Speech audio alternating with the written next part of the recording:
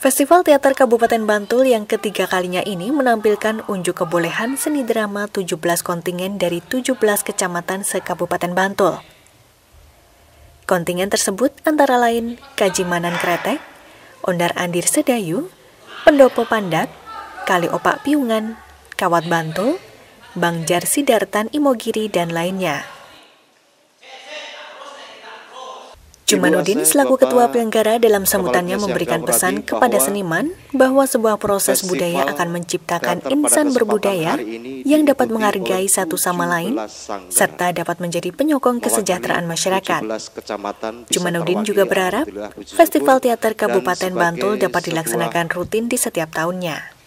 Tujuan awal adalah penyemaian benih-benih budaya khususnya teater di masing-masing kecamatan ini bisa terwakili dan semoga ini selaras dengan visi misi Kabupaten Bantul. Paguyuban Teater Bantul pada ruhnya adalah sebuah paguyuban. Memang sebuah kejuaraan itu penting adanya, tetapi lebih penting adalah keguyuban. Pelaku seni khususnya teater di Kabupaten Bantul. Masyarakat Bantul khususnya di 17 kecamatan ini meningkat kesejahteraannya karena sejatinya kesejahteraan tidak hanya diukur oleh faktor ekonomi semata tetapi adalah di kesejahteraan itu ada nuansa kemakmuran, keselamatan, saling menghargai dan seterusnya. Proses budaya ini tentu saja pada endingnya adalah menciptakan insan-insan yang berbudaya dan insan-insan yang berbudaya adalah insan-insan yang penuh tepo seliro insan-insan yang saling menghargai satu sama lain dan tentu saja ini sebagai penyokong kesejahteraan di Kabupaten Bantul.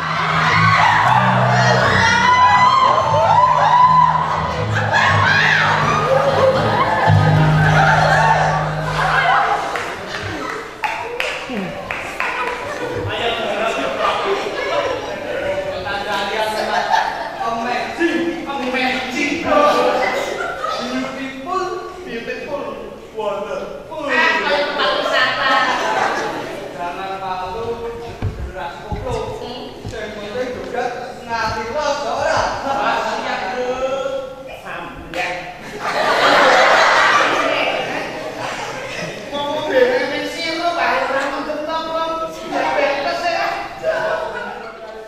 Festival Teater Antar Kecamatan se-Kabupaten Bantul pada 24 September 2019 menampilkan empat grup yakni Kajimanan Kecamatan Kretek, Ondar Andir Kecamatan Sedayu, Pendopo Kecamatan Pandak, dan Kali Opak dari Kecamatan Piungan. Diawali dengan grup teater Kajimanan Kecamatan Kretek memainkan lakon Keblinger, naskah karya Diah Ardianto, sutradara radio, dengan mengangkat kisah percintaan yang gagal.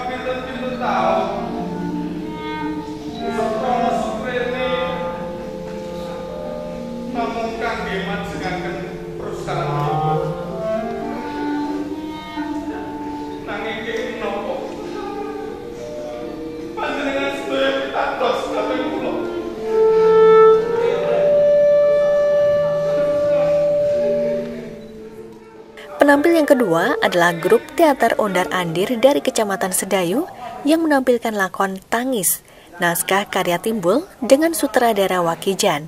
Dengan tata cahaya yang baik dan dialog yang menyentuh hati, lakon tangis ini menuai antusias tinggi dari penonton.